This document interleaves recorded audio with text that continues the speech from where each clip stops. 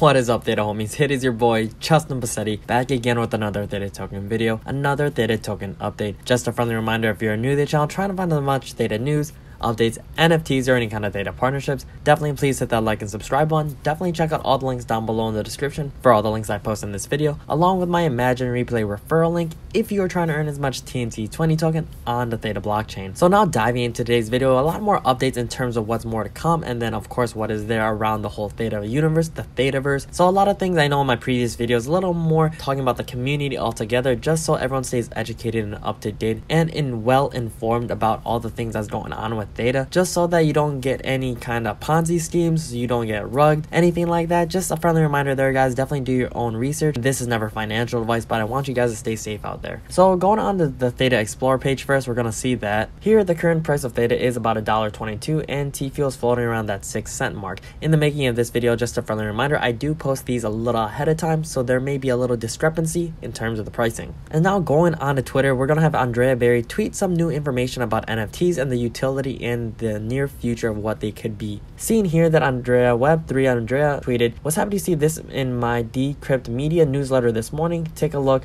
New YouTube CEO is bullish on Web3, tech like NFTs, and the metaverse. Fingers crossed that everything does pan out like we want it to, especially with the utility. So fingers crossed, and we'll go into this article. We're not going to read the entirety of it, but most of it for sure. So going here on the type of link, we're going to see new YouTube CEO is bullish on Web3, tech like NFTs and metaverse, like I mentioned. This was posted on February 19th, 2023. About a four minute read, so just a little more context for you guys there. So we'll scroll down just a little bit and read the beginning. As serving as YouTube Chief Product Officer for over seven years, Neal Mohan was appointed last week to lead Google-owned streaming platform after former CEO Susan Wojcicki, I believe, said she'd be stepping down. His ascendance bodes well for fans and advocates of Web3 technologies, announced her resignation in a blog post. In praising YouTube's incredible leadership team, she commended Mohan for playing a pivotal role in the launch of products like YouTube TV and YouTube Music, stating he'll be a terrific leader. Wojcicki also praised Mohan for his robust understanding of YouTube YouTube as both a business and one of the most popular places for communities to congregate. He has a wonderful sense for our product, our business, our creator and user communities, and our employees, Wojcicki wrote. So nice to see him this new leadership does want to take a great, or take the bull by the horns, I guess you can say like bullish by the horns. Little joke there. But anyways, altogether, we're seeing the leadership transition from one individual to another, and we'll see that they, they are on the team for Web3, at least based on this article right now. So we'll see what the rest of the article entails. Seeing this little type of quote, we believe new technologies like blockchain and NFTs can allow creators to build deeper relationships with their fans, Mohan wrote. There's a lot to consider in making sure we approach these new technologies responsibly, but we think there's more incredible potential as well. For example, Mohan wrote that NFTs could be compelling, verifiable for a way for fans to own unique videos, photos, art, and even experiences from their favorite creators. Adding will allow creators and audience to collaborate in new ways. In terms of the metaverse, Mohan stated the technology use is still in its early days, but said YouTube will work to bring more interactions to games and make them feel more alive. So taking a quick pause from right there, from reading that article, yes, that is the whole point of these NFTs is the utility behind it, actually forming more of a relationship that solidifies the individuals from the creator or creating those unique experiences for everyone to understand what this actually is. Like they said in the article, we are in the very early stages in this type of utilities. That's what I always like to say.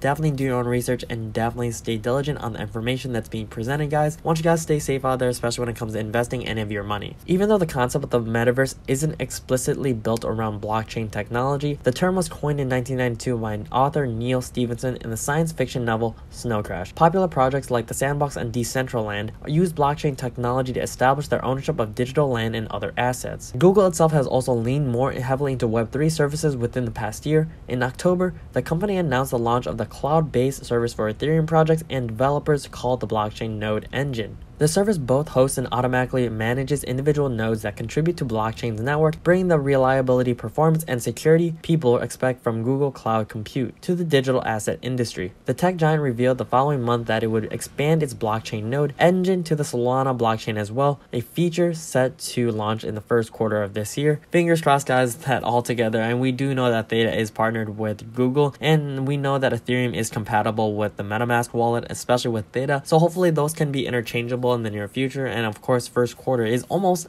I guess it's a little more than halfway there, you can say. So we're a little, we're in February in the making of this video. It's almost March. So I know time kind of does pass by, especially when it comes to looking at these updates and everything like that around that type of topic. So we'll see how that goes. And fingers crossed that Theta will be able to implement it on YouTube or YouTube can also have some sort of beta testing. I'm sure that Instagram is kind of doing something similar. not too sure if some people follow Valkyrae on Instagram. She's one of a, like a streamer, but she does incorporate something like that on Instagram. So we'll see how things work on YouTube. Going on a little more updates on Theta Drop itself, we're going to see that they tweeted exclusive VIP shard airdrop coming. VIP shards will be randomly airdropped for at least one month starting February 21st to all VIP holders. Here's information about the benefits and here's more if you want to read about VIP shards. They recently did this also, I believe it was this year or the end of last year of 2022, where these shards are rewarded for the VIP members for having that type of tier list. And it's nice because then you can actually use them and then you can redeem them for certain things. I believe there is like a baby NFT. Baby Theta Zilla NFT is the one that I redeemed it for because I am a bronze member. So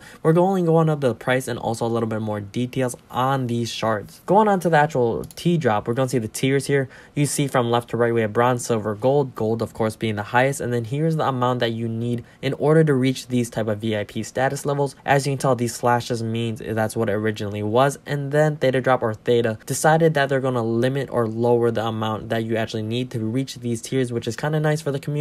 So scrolling down and seeing the benefits, you do get your badge, you get the ability to require T-Fuel from buyers, VIP airdrops, as well as lower withdrawal fees, higher amounts coming soon. It looks like, as you can tell, these check marks is where the tiers finally drop off. So seeing bronze does not get early access, exclusive access to NFT drops, or feature listing in marketplace. These, or this last one, it looks like it's still coming soon. But then with silver, you get the early access NFT drops, but you do not get exclusive access to NFT drops. So let's see to certain ones. I'm not too sure exactly. Says join drops that are not open to the public, and then it says early access is get in line for drops before the users. So I guess that little information does make sense. So if you're a gold member, you'll get all these benefits, obviously. And then with the bronze and silver, you'll see where it drops off in terms of the opportunities and the inclusivity when it comes to having this status. So definitely do your own research, guys. And here's a little more of an article. So right here, if you want to look at this all together and seeing the different type of shards and then what is more to come, seeing right here, like I said, definitely check out all the links down below in the description for all the links I'm posting here on this video. So altogether, we're going on to the price of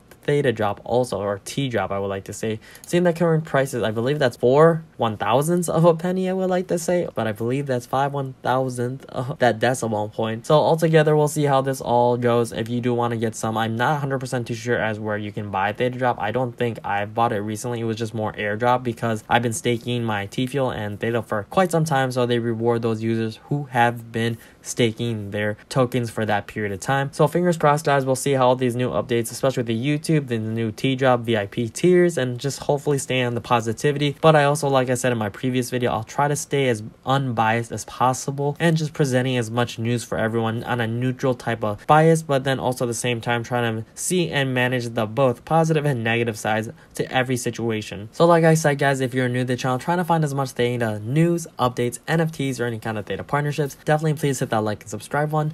Definitely check out all the links down below in the description for all the links I post in this video, along with my Imagine Replay referral link if you're trying to earn as much TNT 20 token on the Theta blockchain. If you're an OG viewer and subscriber, thank you so much for coming back. Definitely comment down below what you guys think about the video or anything about Theta related. If you're a new viewer and subscriber, thank you for coming to the channel. Really looking forward to seeing you on the next one. Definitely comment down below as well for any kind of questions or anything you'd like to talk about Theta. But until the next one, guys, it is your boy Justin Pacete. So try to keep up. Height. Deuces.